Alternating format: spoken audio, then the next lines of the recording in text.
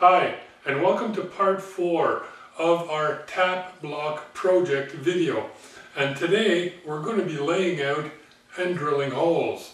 So I have two blocks, one of each size, uh, and I've put some layout blue on the uh, secondary and on the primary surfaces that I want to lay out on. Uh, why two? Well, remember, one is about 10 thousandths of an inch over, and one is about one thousandths of an inch over. So I'm going to have to lay them out separately because obviously the dimensions are going to change. The oversized one, I'll have to add on a little to each dimension.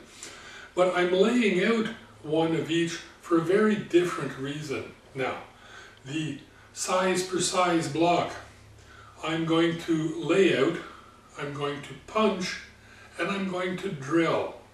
So that would be a simple sequence for basically benchwork techniques of hole positioning.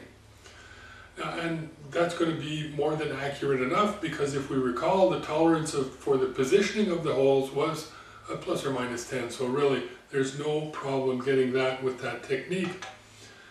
And the other one, the one that's oversized, the ones that are going to be sent out to be ground, well I'm going to lay out but I'm not going to punch. I'm going to lay out just as a general guide, a safety layout in other words. And then I'm going to go over to the mill and I'm going to center drill or point these holes uh, using the coordinates on the mill. So two different ways of going about it. But in both cases, I'm only going to be laying out one block because once I've produced the center drills on each of these blocks, well, I'm going to move on to a production style setup because you may be making one, but I'm going to be making 10 and I don't want to spend the rest of the summer drilling small holes. Obviously the block that I'm going to be drilling uh, the center holes into on the mill is going to be more accurate than the one that I'm going to produce on the drill press.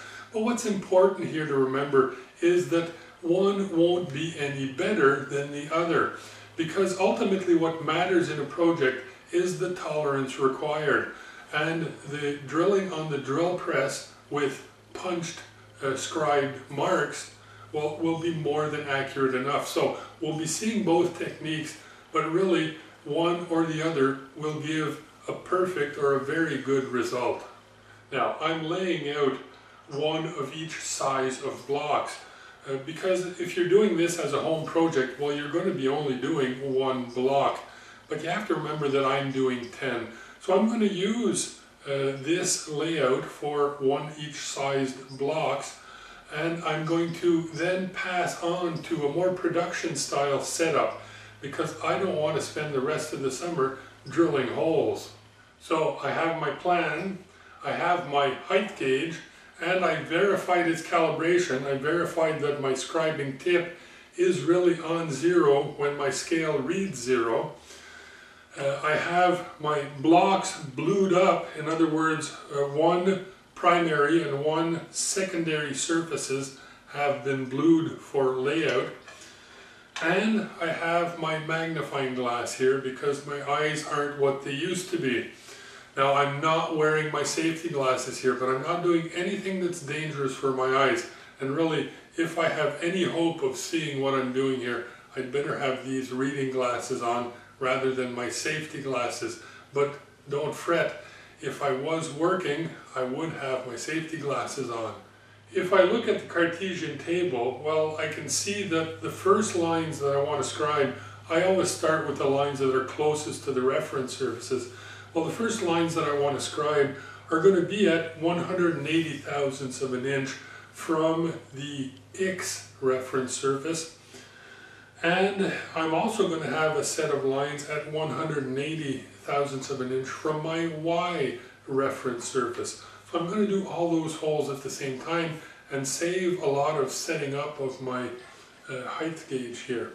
So I've already set it at 180, uh, 180 thousandths of an inch and I'm ready to lay out holes C and E and G in my x direction dimension and then we'll be laying out A and E in the y axis. So here we go.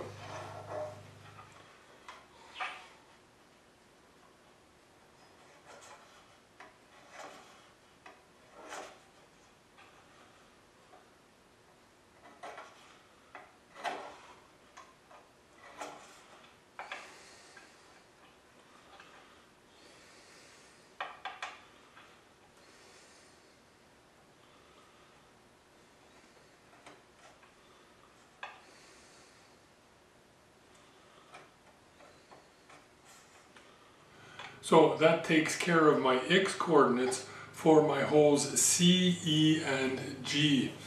Now D I'm going to do in the x coordinates and it's all by itself. So for D I'm going to set up at 370 thousandths of an inch in my x direction.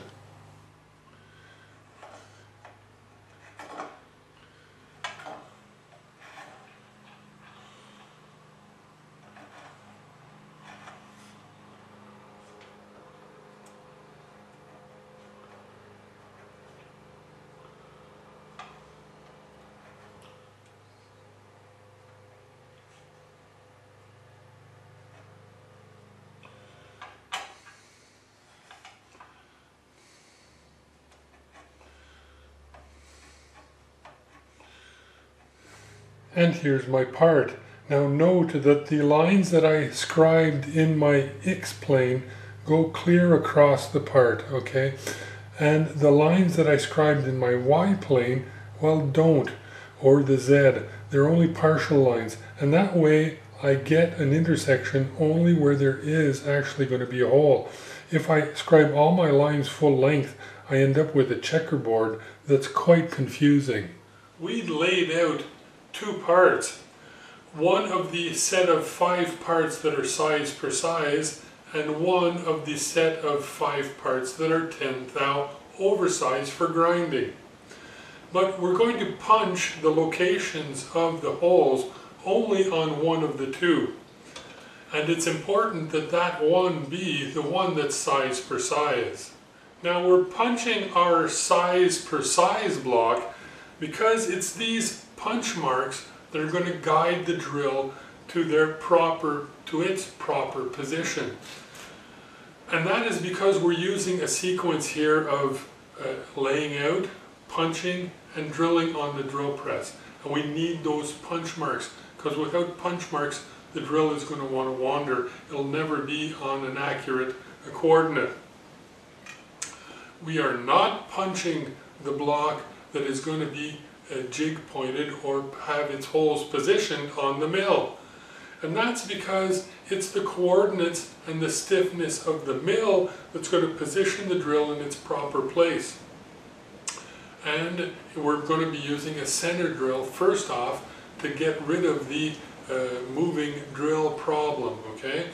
And, now, and that's important. If I punch these holes first off, well, the, the drill could actually be drawn off coordinates or even break my very small center drill by pulling it away from its proper coordinates. Remember, I'm never going to be able to punch hole locations as accurately as I would be able to position them on the mill. So I don't want those inaccurate or less accurate punch marks drawing my drills off center and possibly wreaking havoc. So normally on my size per size block, the one that I'm punching and drilling, well, this block I would move over to the drill press and once it was punched, seeing that the punch marks are wider than the uh, chisel edge point of the drill, well, I can directly use each size of drill wanted directly into the hole. And I wouldn't be using a center drill on this type of setup. But I'm going to be doing something a little different here. Seeing as you have one to make, well I have 10 to produce. And as mentioned earlier, I don't want to spend the rest of the summer setting up and drilling holes. So what I want to do here is I'm going to use these two first blocks as gauges. And I'm going to center drill the position of the seven holes on the mill but I'm also going to go over to the drill press and use my center punch marks here to center drill those seven positions also. And then I'm going to move on to a more production style setup. And I'll be using those center drilled holes that haven't been drilled out yet to position my part and ultimately a little fixture that will hold it properly oriented for each size of hole that I want to drill and then I'll be able to go and drill hole after hole on each block and save myself what really is the most time consuming and that is the tool changes. So let's get back to our punching. And for precision punching, and this has already been mentioned in other videos, but I'm going to mention it again. To accurately punch, you need two different punches. You need a prick punch and you need a center punch. The prick punch is a lot pointier, 30 degrees, 40 degrees point on it. And it's a lot more delicate. Your center punch is heftier and it has 60 to 90 degrees. I prefer closer to 90, okay? And it's a lot heftier. Now your prick punch, you're going to use with a very light and delicate hammer because it's really your precision punch. This is the one that's going to give you the precision you're looking for. And your center punch, well, you're going to use with a much heftier hammer. And this is the one that's going to widen that mark to the point where the chisel edge of your drill will fit into it.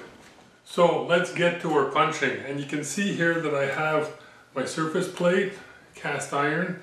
I have my heavy but small lapping plate. And on top of that I have a 1, 2, 3 block.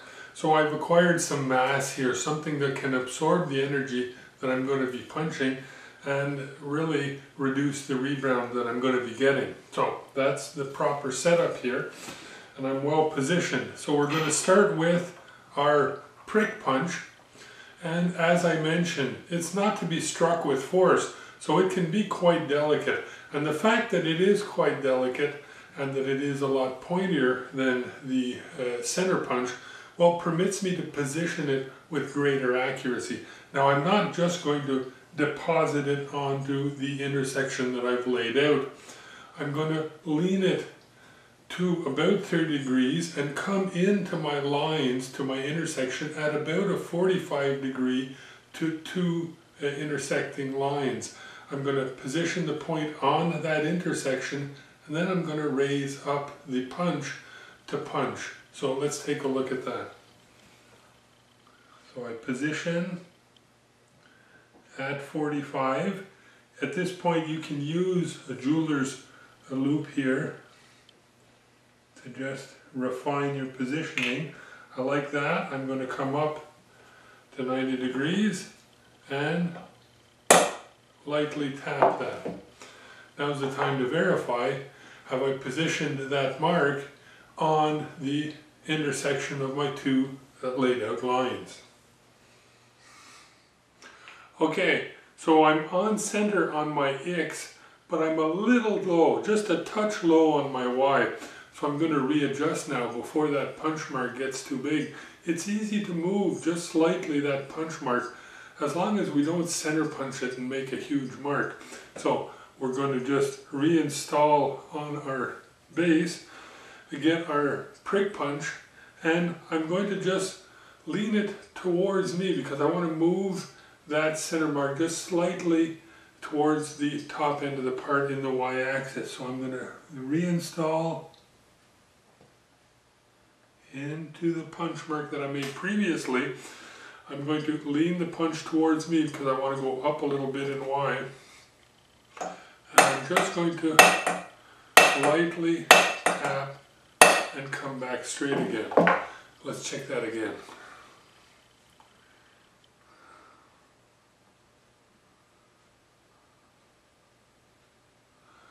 a lot better, but a little more adjustment. So, reinsert, I'm going in the same direction.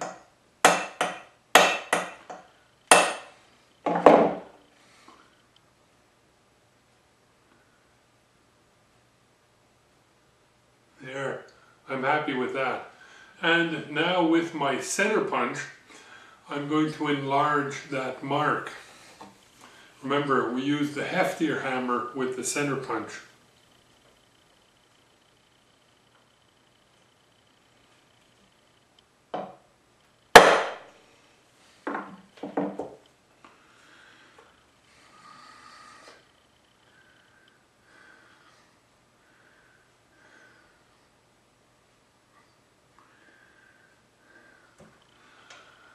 Quite happy with that.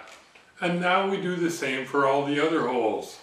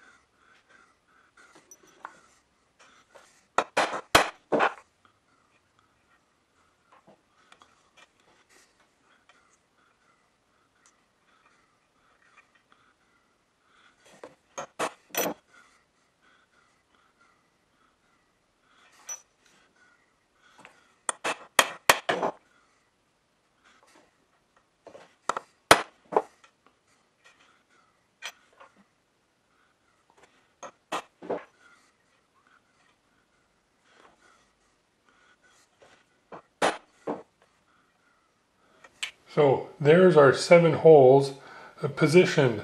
Now we're going to center drill them. Yeah, I'm punching. I said we were going to drill, but I'm punching because I forgot to mention that now would be the proper time if you want to identify your parts with punching. Uh, well, now would be the time to do it because obviously once we drill those holes, we're going to weaken the part structure and punching onto the part could really deform the holes.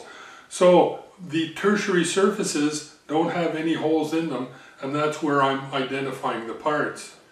So I'm not going to go into detail uh, about how to freehand punch uh, letters, numbers, or scales on the part, on this part anyhow, because I already have some videos out there that describe the process.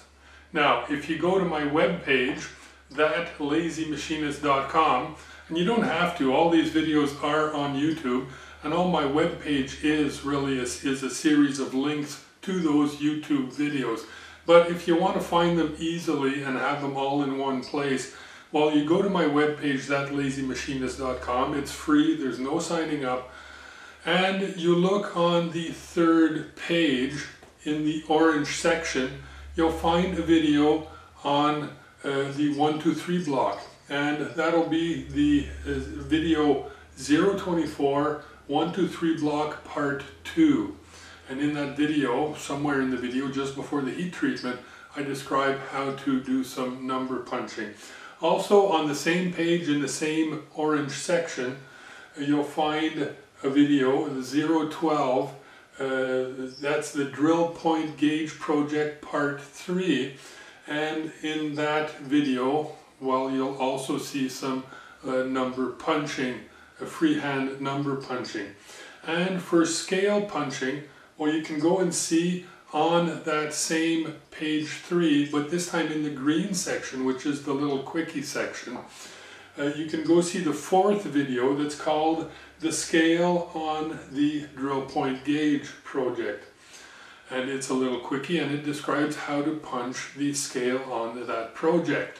So now I'm going to reposition here and let's take a closer look at what I've punched on my parts.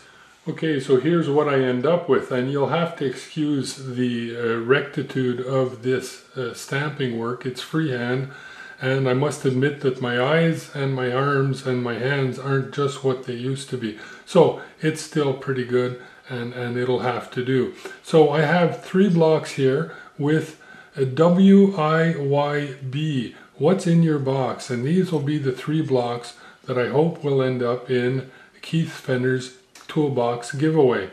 Then I have one here that's BSG, and that's Basement Shop Guy. And Brad, thanks for all the work you do in trying to organize us YouTube machinists to help out with the Keith Fenner uh, toolboxes. And for that, I want to thank you. And here's one that's for you. So when these pass through your hands, well, you keep one of these blocks here. If possible, the one with the basement shop guy uh, written on it, or the BSG. Down here I have Keith Fenner, and that's for obviously KF for Keith Fenner, who does so much work to get this uh, these toolbox to, to people who deserve them. And I think it's just appropriate for me to say a little thank you by donating this very small tool to Keith. So once these are finished up, Keith, when you get them, this KF one, well, it's for you. Over here I have the five blocks that I'm going to finish myself. Now the first here is for a guy that has supported me in my YouTube video making and efforts. He's clued me into a lot of what's going on and actually has connected me to other people.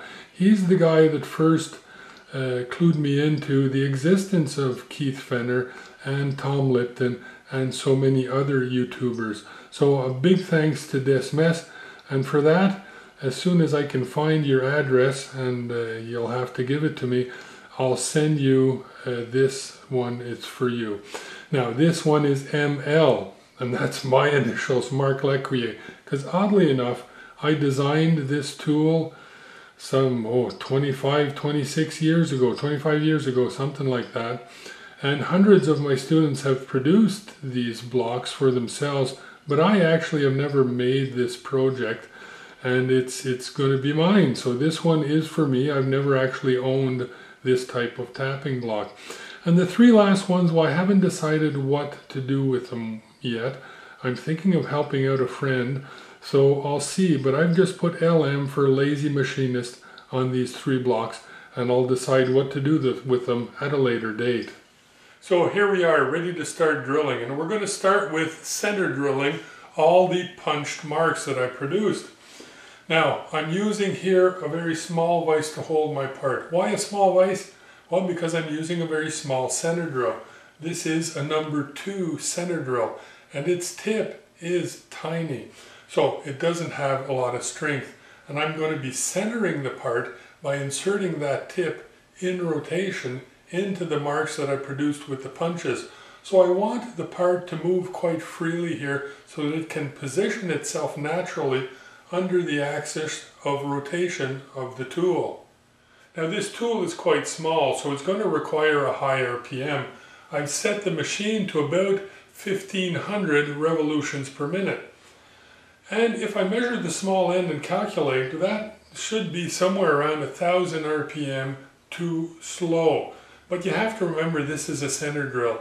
And that second 60 degree angle that I'm going to be cutting just slightly. I'm going to penetrate that 60 degree shoulder just slightly into the part, but even at that, it increases my surface of contact and requires a lower RPM.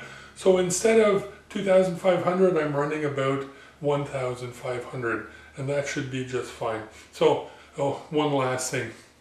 Delicate tool, tough material, very little pressure, and a few drops of cutting oil, or in this case I'm going to be using tapping fluid because it's quite delicate work while really doesn't hurt. So let's get to the drilling.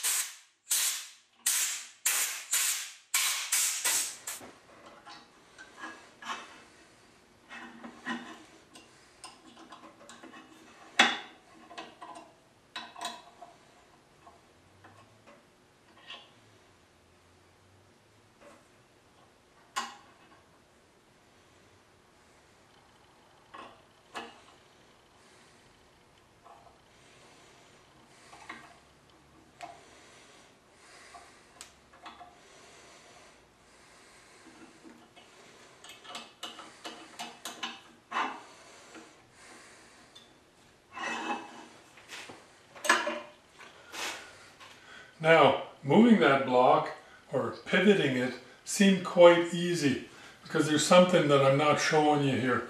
And that's that these vices are a little finicky to work with because the lead screw or the screw that tightens the vise down doesn't necessarily loosen the jaw that well. It doesn't draw the jaw back. So it's a little arduous to work with.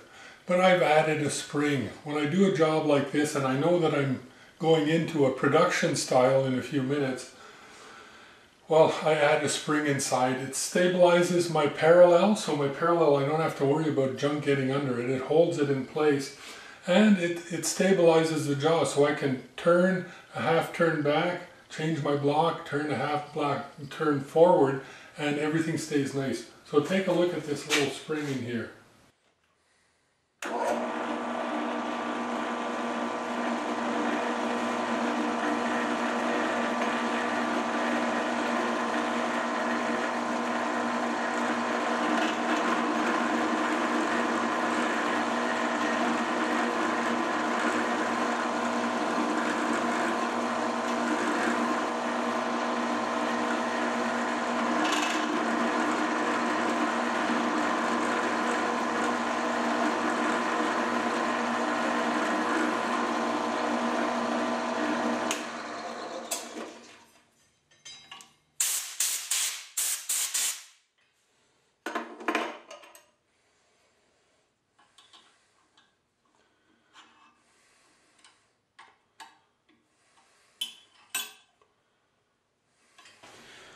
So there's my part, all center drilled and ready to go.